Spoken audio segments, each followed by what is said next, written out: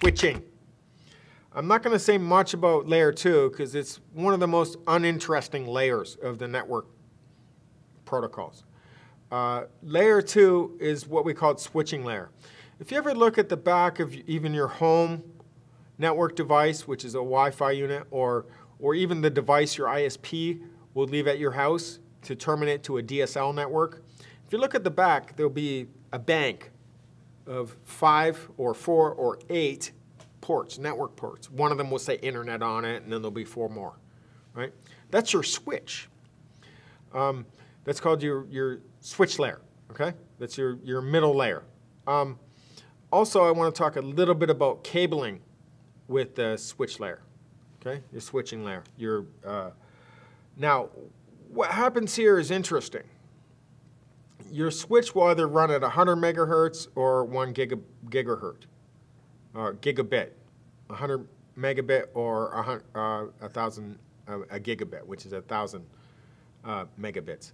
Uh, they, they do have network cards out for PCs now that are 10,000 gigabits or 10 gigabits, which is 10,000 megabits.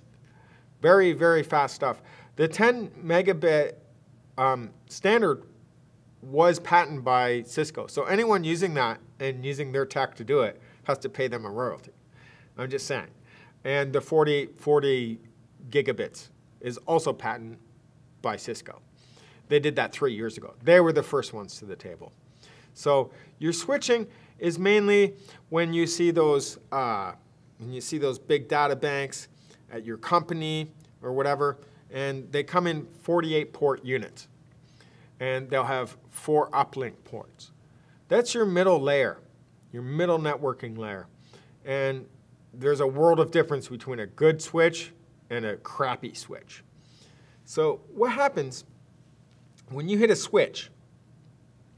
Your computer is called a node anything, a uh, anything with, that, that can connect to a switch is called a node. For example, a printer will have a network card in it, either a Wi-Fi network card or an Ethernet network card. They can plug into a switch. That's called a NIC or a node. Uh, physically, it's called a NIC, which is Network Interface Card. Um, in networking, we call it a node. Um, a node is anything with a MAC address. A MAC address is unique to every device. For example, your phone has two radios on it, uh, Wi-Fi 2.5 uh, megahertz and Wi-Fi 5 megahertz. Guess what? It has two nodes. It has two MAC addresses, one for each of those radios. If your computer has two network cards, it has two MAC addresses. If it has two network cards and a Wi-Fi card on your, your desktop PC, you have three MAC addresses. Anything with a MAC address is a node. If your TV has a Ethernet port and a Wi-Fi, it has two MAC addresses. If it just has Wi-Fi, it has one MAC address. That's one node. Okay? So that's how it works. Anything with a MAC address is a network node. If you plug one switch into another switch, that other switch is also a network node on that central or core switch. Anything plugged into that switch is a node. Your phones can obviously connect to it through a Wi-Fi. Your TV can connect to it, your, your laptop, uh, your, your desktop, okay? Your printer, you see a lot of printers, they plug them into uh, the switch directly. It has a network card in it, a NIC, and that makes it a node. It might have two. I've seen them with two. I've seen them with modems right in the printer. Okay, so you can call your printer and print stuff from home. That's old school. It's all done through Ethernet now. Um, a lot of the home printers, and I've set up several of them for friends and family, they'll have Wi-Fi devices in them. It's still a node. It's, it's not Ethernet. It's Wi-Fi, but it does the same thing. It gives them an IP on that switch. That switch controls that IP pool, and it allows access. So when you attach to a switch with your, say, laptop, and you attach to a switch, the same switch with your printer, what that is called is a broadcast domain, which means that that laptop can see that printer. And you can set it up in Windows as your printer now, okay? Because they're on the same broadcast domain. That's switching. That's part of switching. Now, if I give it a different, say, IP or a different subnet on the printer than the desktop, they can't see each other anymore. But that's not from hardware. That's called logical. We separate networks two ways, logically and physically. Um, physically means uh, like a VLAN, and logically means with a different IP. Okay, so physically, that laptop could still see that printer, but they can't communicate because they're not on the same IP range, although they're using the same switch. If I just change the, the desktop to the, the printer network on the same IP or subnet range as the network, it can suddenly see it. Okay, it's now on the same broadcast. Now, another way to separate networks is what happens if, if you get an office full of people and they're all streaming and, and, and this sort of thing? What happens is your network gets kind of busy. So if there's one particular department that's always uploading to some server somewhere in the building or something like that, we separate them off into a broadcast domain. Uh, we, we do this we do this for several reasons. One, it might be for bandwidth, maybe they're just taking down the network. For security, okay, we don't want this network talking to this network. Um, we don't want them to connect even if he changes an IP. So that's called VLANing, Virtual Local Area Network. Now, if you VLAN, you have to do it on an industrial layer 2 device, like a Cisco. The Cisco, Cisco Catalyst series switches can do this. They can separate VLANs. Depending on the, the software license that you have, the IOS software license, depends on how many VLANs you can make. So if you have a 48 port switch, you might want four, four VLANs, okay? Uh, who knows, one VLAN, three VLANs.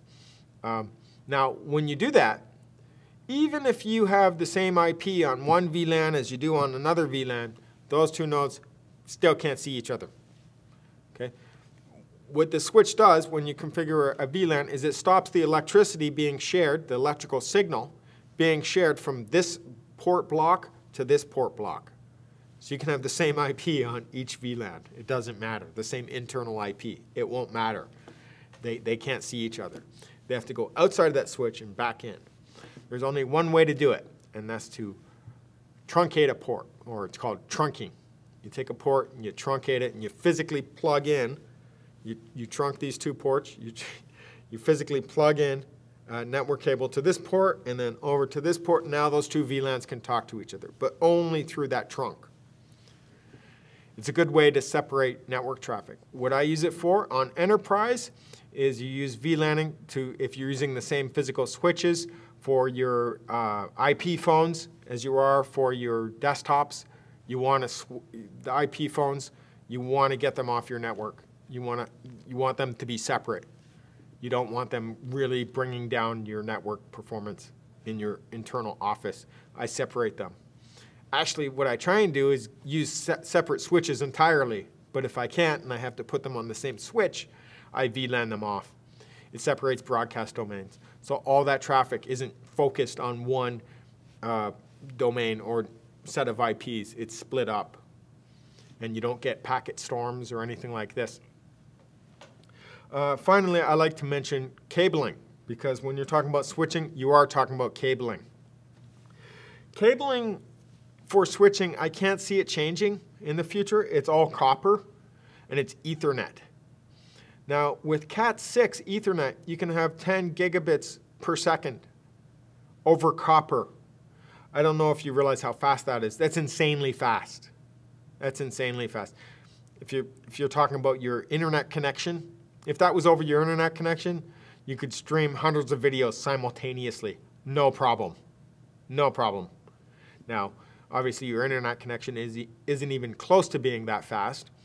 So if you're streaming from one computer to the other, there's, there's no latency at all. It's super fast. Obviously, most networks are gigabit.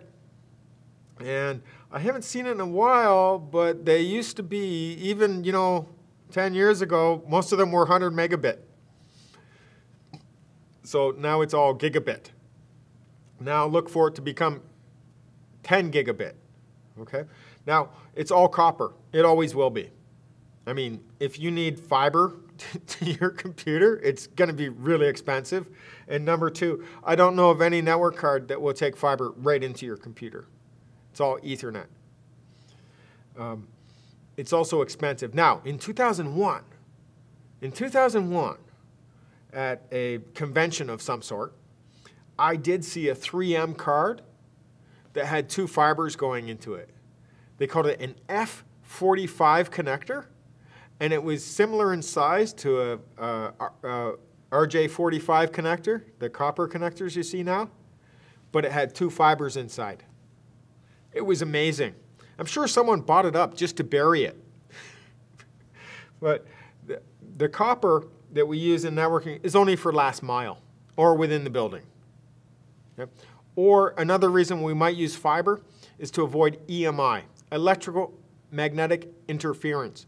What happens when you take a copper wire and you run it to a switch across the room, and that copper wire is going through lights, uh, maybe going past a motor, okay, the, the signal is going to be lost. The electrical magnetic interference is from the ballast on the light and the motor creates a mag magnetic field and it interferes with data over that cable. Uh, even with Wi-Fi, that's an issue. I was in a I was in a place once. Okay, the Wi-Fi was up there, and one guy was telling me, you know, it's one level up, and we're on the ground floor. He's saying, you know, if I'm standing exactly right here for about three meters, I can't use the Wi-Fi here. And I went upstairs and I looked, and the Wi-Fi was right where he was pointing. And he's saying, it's so close, but if you look at it, it's only about 20 feet, and I still can't reach it. But what was in between him was several uh, incandescent lights and a motor. I can't remember what it was, a fan or something in the motor. And if he walked up past those electrical devices, he got perfect reception from Wi-Fi. So the EMI can even affect the Wi-Fi. The EMI can also affect hard, hard lines. This is why you can't run data cables near electrical equipment. I've done inspections at sites on projects where they were complaining to the corporation, oh, but uh, we followed your standard and the, the, you know, the, the network doesn't run very fast.